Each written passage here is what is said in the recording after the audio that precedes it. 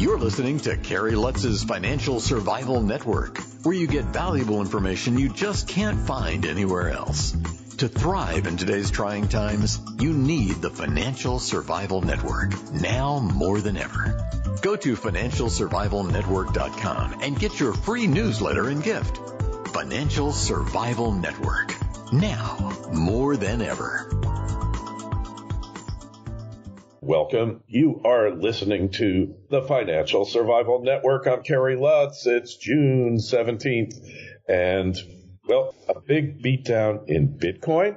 It had hit 65,500. That was its peak, intermediate perhaps, but that was its peak. Now it's trading down around 39,000. You've seen a big smackdown in gold over the past two, three days, seemingly inexplicable. It's below $1,800 now for the first time in several months. At the same time that many of you out there, including myself, were expecting it to go higher, but don't forget it's a quadruple witching hour options expiration. What's your thought? Is the decline in, are the declines in cryptos and gold, silver, are they permanent or is this just a flash in the pan? Send us an email to KL at kerrylutz.com. Well, right now we got somebody in here who knows a lot about crypto. He's involved with a cryptocurrency called Stealth, uh, Dr. James Stroud. James, it's great to have you on the show. So tell us, uh, cryptos gotten slammed, including your own. Uh, is this just temporary here, or are we looking at uh, part of a broader trend? I think we're still um, on an uptrend right now for Bitcoin. Um, the uh, it does it it does look uh, bad uh, probably to a lot of new people.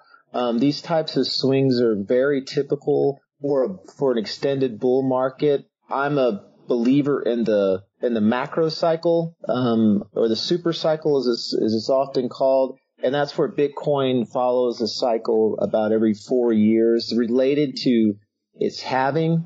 Um, the halving is uh, it, it, having the Bitcoin emissions right now. The inflation rate for Bitcoin is kind of low. It's like two point something percent per year, which and every four years that drops by about half. And uh, the cycle seems to follow the price cycle seems to follow that that inflation uh, model, and that's called the stock to flow. And we're we're right in the middle of the bull season if if you ascribe to that. And I think that's where we are because Bitcoin's pretty much followed previous cycles programmatically and a lot of times you see a big pull back like this at this part of the cycle and people look for reasons, you know, Elon, Elon tweeted something negative or positive, but I think it's just following that cycle. And, uh, and it, it is, is correlated to some extent with other assets like gold and silver. So, um, you know, you can, you, it seems like these larger uh, aspects of the economy weigh on the Bitcoin price, and they do, but those are just superposed on the larger trend right now, which is going up probably uh, through the rest of this year, almost till the late part of the year. All right. So when we're talking about cryptos, to me, one of the biggest failings of cryptos, of Bitcoin in particular, is that if you had a wallet, you didn't use an exchange, and you forgot your key, and you upgraded your computer, you're kind of screwed. Uh, there's no way to recover that key, and that Bitcoin is lost for forever. And supposedly, upwards of 25% of all the Bitcoins ever issued, or Bitcoin ever issued, is kind of in that never, never land, never to be reclaimed again. Is there a way to get that back? Uh, if you lose your phrase and you are truly the sole custodian of your coins, uh, yeah, you're not getting them back ever. It's designed that way. Uh, this the, this kind of concern, it is a concern, and um, when people set up their own wallets, they really need to be careful if they're going to put any kind of money into a cryptocurrency wallet and, and are custodian of their own funds. But these stories uh, have become part of the lore because a long time ago, Bitcoin was worth less than a cent you know, and it was worth a dollar and somebody might give you five bitcoins when it was a dollar and you're like, okay, I'll set up a wallet. I'm going to put that passphrase somewhere. I mean, if I gave you a coupon for, you know, Shakey's Pizza for five dollars, you'd put it in a drawer. Oh, I'll go there one day. And then you come back and 10 years later, oh, that's worth $300,000. You still got that coupon. You're probably not going to find it. Um, and so this is kind of how those play out, but the numbers are so huge that they make the news when people relate these stories. And really, it's not an extraordinary story of somebody screwing up and forgetting their money. It's just an extraordinary story of an asset going up so much in price that people could not have predicted it. And some of those people include people who wrote down their, their seed phrases and put them in drawers and cleaned out the drawers one day. But these days, that's much less of a concern. First of all, people know this price history. They're much more aware of what they're doing.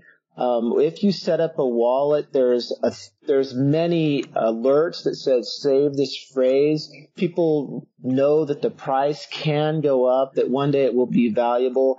And also a lot of people use uh, places like Coinbase, which uh, say what you will about say their customer support. They will keep your money safe. Uh, I have some Bitcoin in a Coinbase account for a company I have with somebody else, and the company's kind of uh, been a little bit of a zombie.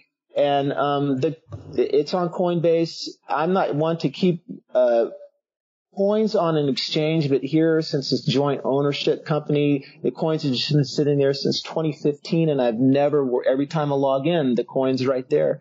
So Yes, it, it's uh, these days it's not really a concern, and the custodianship of uh, the larger institutions is very well worked out, and Bitcoin has some features to make sure that that these coins can be safe in the long term. All right, so you're bullish about it, but look, last time, and I happen to have written an article about it right when it happened, and interestingly enough, the last major decline in Bitcoin was 2017. It occurred a week or two before the North American Bitcoin conference in Miami. And just uh, two weeks ago, we had another major Bitcoin conference in Miami 2021. And it's kind of a replay almost of the same exact thing. When you look at the numbers and you see how much it lost in 17, it lost 85% of its value if it loses 85% of its value this time, uh, that's going to bring it uh, down substantially. I mean, if we look, uh, it could be down to thirteen thousand uh, dollars if it if it loses 85% this time. And let's face it, that is possible, isn't it? Yeah, I mean that's the thing with cryptocurrency. Anything is possible with traditional investors. That those kind of thoughts are intensely disturbing, I guess. For cryptocurrency people, as you mentioned, this, these types of swings are part of the price history and we kind of shrug them off. But, uh, yeah, it's possible. I don't, and I think that is definitely uh, going to happen in the future, but I don't think 60,000 is the price point from which it's going to make that 85% drop. And 85% is a magic number on, on Bitcoin for some reason. When it hits those really big highs, you see an 85%. It's, it usually corrects 85%, but I don't believe 60,000 is that high. Of course, I could be wrong. Um, but, uh, but probably, you know, the, the price it'll fall back to is going to, uh, be a, a, little bit higher than 13,000 for this cycle. I think it's probably in the 17 to 20,000 range. And look, the one thing is that, uh, people into cryptos, uh, and I'm not saying you are by any stretch, and I'm into cryptos too. I've got small positions in five or six different ones, but it's almost like a cultish following here, James, where they believe that for some reason they just can't see that Bitcoin can actually go down, even though it has seven times in the past and is doing so now. They just cannot get it through their heads that it could go down. And as a result, it's a missed opportunity because if you get out at the high, which I called 65.5 at the high because it mirrored the 2017 chart. It was actually worse than the 2017 chart uh, in many ways. I called it as the top. So if you got out and uh, you you sold half your Bitcoin, let's say, because you don't have to sell all of it, you sell half of it or a portion, and then you wait for the inevitable decline, and then you go back in and buy it. If you did that in uh, 2017, you could have made millions of dollars. Unfortunately, I didn't because my target price was 2200 it never quite hit that low. I was figuring a 90% decline. This time i'll settle for an 80% decline but the issue is and i think isn't so much uh, that it can go down that far it's that people don't want to believe that it can go down that far because cryptos are special and they're not. They're just a market right? Don't just survive. Thrive. The financial survival network Trilogy Metals is a world-class developer in Alaska's Ambler mining district. The company already possesses 8 billion pounds of copper, 3 billion pounds of zinc, over 1 million gold equivalent ounces, and now over 77 million pounds of cobalt. Trilogy's Arctic project boasts an after-tax net present value of $1.4 billion with a 33% IRR. Trilogy is led by an experienced management team with proven success in discovering and developing projects in Alaska. Alaska. The company is well capitalized, has no debt, and possesses strong institutional support. Trilogy trades on the New York and Toronto exchanges under the ticker symbol TMQ. To learn more, go to trilogymetals.com. That's trilogymetals.com. This is the Financial Survival Network, the information you need to thrive now more than ever. Oh yeah, crypto is a is I guess they're not special that they're a market. They're special in that they do have uh, this type of price volatility. Um, so, but yeah, they're just a commodity like anything else. Um, the technology is special. I'm a I believe in in uh, in, a, in a lot of that crypto is very very cool. But when it comes down to trading, you have to be a realist and you have to understand that that the price is going to move a lot in either direction. Um, there are cultists um, out there with Bitcoin, and they come in all varieties. There's probably the price cultists, or there's the technology cultists, but um, and, but as you mentioned, you know, it's so hard to swing trade. One thing, um, one type thing that has pervaded the culture that um, probably looks a lot like a cult is if you just keep accumulating Bitcoin, you're going to do great over time. And say what you will, but this strategy has really worked.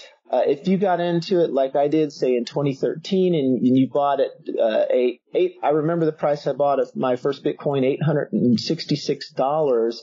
Um, I tried to trade it, you know, swing trading, and and of course I traded it all away pretty quickly. But just imagine if I just held on to that, right? Through the dips, it went down to $150. Oh my gosh. Wow. So low. That's terrible. But then it went up to $60,000. So you know, if you, if you accumulate the, the philosophy is if you accumulate, you stack sats, it's going to keep going up. And that's the, that's the, that's what most Bitcoin believers believe in. They know it's going to go up and down, but they just want to keep accumulating it.